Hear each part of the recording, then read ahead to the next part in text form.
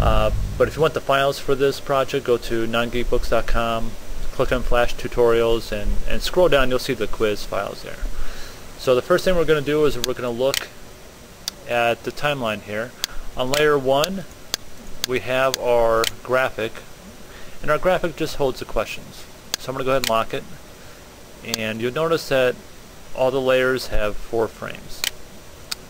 The red marker, I'm going to turn the eyeball off the score boxes here and this so you can see it. This is just a little graphic that moves down each number. So on frame 1 it's over number 1 and frame 2 it's over number 2 and so on. And the third layer is score boxes. These are movie clips and these are the ones that keep track of how many questions the user got right, how many questions the user got wrong. So let's let's examine the correct movie clip. Click on this. So every time the user gets a question correct, it's going to tell this timeline to go to the next frame. So every time they get a question right, it's going to keep going, and by the time it gets to frame 4, if they get all four questions correct, it's going to say congratulations. So basically, on the on this movie clip's timeline, we just have the box graphic, we have the text, and then we have a simple congratulations at the end. Let's go back to scene one, and if you correct, if you click on the incorrect movie clip, we'll open this up. It's pretty much the same thing except we don't have a congratulations because this keeps track of how many questions they get wrong and you'll notice that the text is actually red now instead of black. Okay, let's go back to scene one. Now, since we, we're going to be controlling these movie clips, as we learned in earlier tutorials, we need to name them. So whenever you create a movie clip and you want to control it, you have to name it. So I'm going to click on the correct movie clip, open up the properties panel in the instance name field, type in correct. Click on the incorrect movie clip. In the instance name field, type in incorrect and that's pretty much it. Now we're going to create a new layer. We're going to name it buttons. Now we're going to create the transparent buttons that go over each answer. Whoops, grab the text tool there by mistake. Let me grab the rectangle tool. Make sure your stroke color is off. Select any color and just create a shape over George Washington just like this. Select it, go to modify, convert to symbol, select button and just name this button. Now we want this to be transparent so we click on it, open the properties panel and you'll see color. Change color to alpha and make sure alpha is 0. Okay, so now we have our transparent button. Now we're going to open up the actions panel and if you don't see it just go to window actions. Make sure your script assist is turned on click on the button. Now the first thing we want to do is, since this is the correct answer, we want this button to tell the correct movie clip to go to the next frame. So we go down to deprecated actions and double click tell target and just type in slash correct.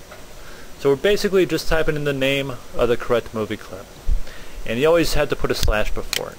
So just put slash correct. And we want the correct movie clip to go to the next frame. So we scroll up here global functions click on timeline control and click on go to. And type would be next frame. So Flash is actually writing all the code for us. We don't have to do it. All we're doing is telling Flash the name of the movie clip and then we just use these buttons on the left to tell the movie clip what to do that's pretty much all we're doing so now when someone clicks clicks on George Washington, clicks on this button, it's going to tell the correct movie clip to go to the next frame.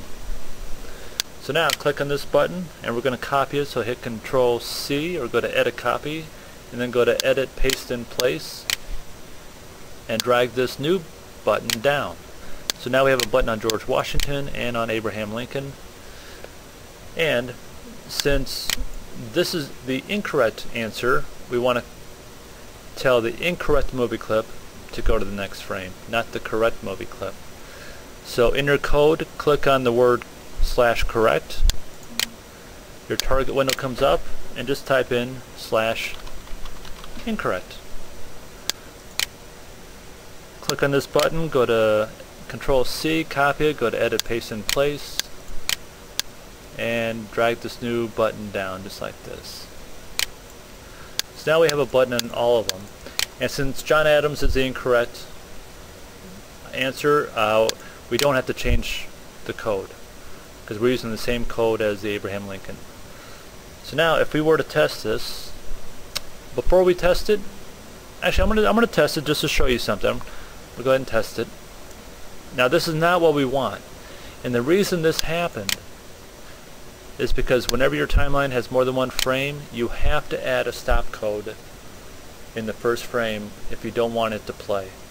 So create a new layer, name it actions.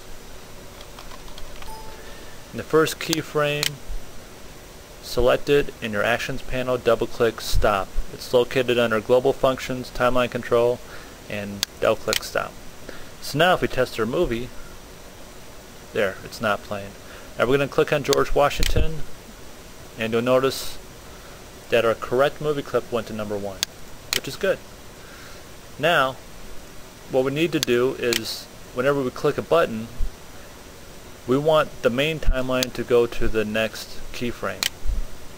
Because this needs to be over number two after we click on one of these buttons. So very quickly, I'll click on George Washington, open up the Actions panel, scroll down and click on the closing bracket of the, la of the last set of code you did. Now we're going to tell the main timeline to go to the next frame. And we do that just by going to Global Functions, Timeline Control, double click Go To, and just select Next Frame. And that's it. Now you can highlight this code, right click, copy, select the Abraham Lincoln button, click on the closing bracket, right click and go to paste. And same with the John Adams button, closing bracket, right click and paste. So now if we test our movie and we click on John Adams, our quiz goes to the second question and our incorrect movie clip goes to number one. So that's pretty much it. Now if you want to make the buttons for the next set, you would create a new keyframe on frame 2 of the buttons layer. So go to Insert Timeline Keyframe. Now we're going to drag these buttons down. Just like that. Now since the correct answer is Arizona, we don't need to change the order of the buttons. We can keep the order of the buttons the same. Click on frame 3 of the buttons later, insert a keyframe, drag the buttons down. Now, since New York is the correct answer, what we need to do is drag this first button up, move the New York button up to Maine, select the other button and drag it down. So basically the button that's controlling the correct movie clip is now over New York and the incorrect answer is Maine so it has the incorrect button on top of that one. So create a uh, keyframe on frame 4, drag these buttons down and since the correct button is already in the second position we don't need to change them so everything should be set. I'm going to go ahead and test the movie. And let's see, Abraham Lincoln's incorrect, Arizona's correct, New York's correct, I'm going to say 42. And up here you'll see that um, I got two correct and two incorrect.